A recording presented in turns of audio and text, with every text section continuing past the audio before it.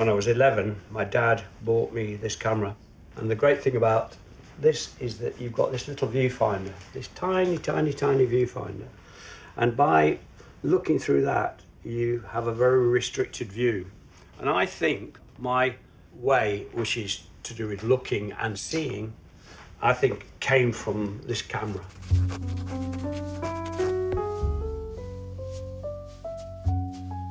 I've been in London for many, many years now. I think London is full of energy. I think it's very, very international. It's very strongly connected to fashion and to all forms of design. The other thing about London is uh, the weekend I can go to any number of fantastic museums and art galleries, which can be, of course, very inspiring in my job. The John Soane Museum is one of my favourite museums in London. A lot of people actually don't know of it.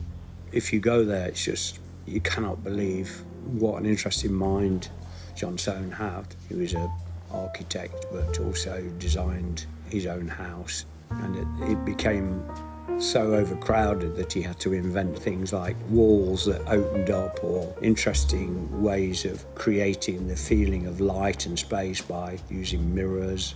He was so creative and just it all came from his head rather than from anything he'd seen. And uh, that's very linked to curiosity. Curiosity uh, is one of the key points in today's world. Be brave enough to ask questions.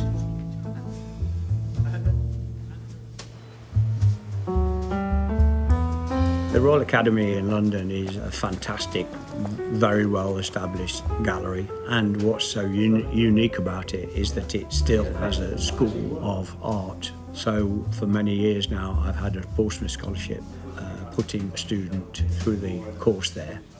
And over the years, I had some fantastic students that have, that have gone on to do very, very well. It's fantastic for me to have this link. They have amazing, lovely little studios and they have one of the oldest life rooms in the whole of London uh, with this amazing light that is so important to artists. This is uh, our gallery called uh, Browse & Darby, one of the long-standing galleries on Cork Street. Sadly, Cork Street has changed a lot. And a lot of the original uh, galleries have had to move out. They've stayed here, which is fantastic. And also they've stayed with this particular type of painting, which they've been very loyal to over the years. It's a particular gallery that has really stuck by its convictions of a certain type of art. And I think that's quite brave in today's world, which is uh, very competitive.